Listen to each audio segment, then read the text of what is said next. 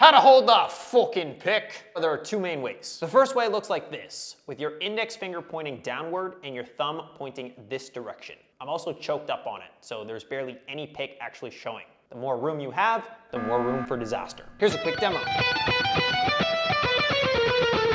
The pros of holding a pick like this is you have more control and a better tone. There's no scrapey sound. But a con is this method has less speed than the next one I'm about to show you. The second method is more common in metal. Our thumb is still pointing the same direction, but this time our index finger is pointing the opposite direction of our thumb. When we actually pick, it's more common to strike the strings at an angle rather than parallel, which is more common with the first method. Here's a quick demo.